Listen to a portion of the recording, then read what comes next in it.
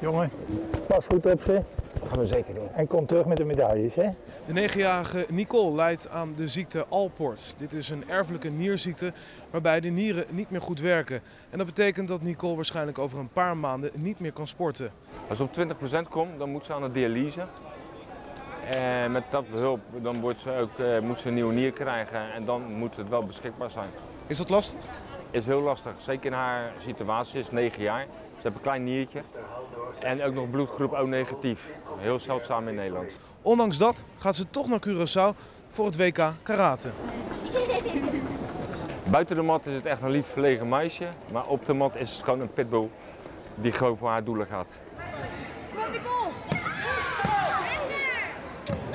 Ik heb heel hard getraind en veel gerekt en strekt eh, op deze wedstrijd en ik wil wel goud halen. Tot ziens, hè. Geniet ervan, joh. Zou dit wellicht de laatste grote sportwedstrijd zijn? Die mogelijkheden zijn er zeker. En daarom doen we ook alles aan om haar deze kans gewoon te geven. Want het kan volgende week ineens weer anders zijn. Doei doei. Pas op, pas op, pas op, pas op.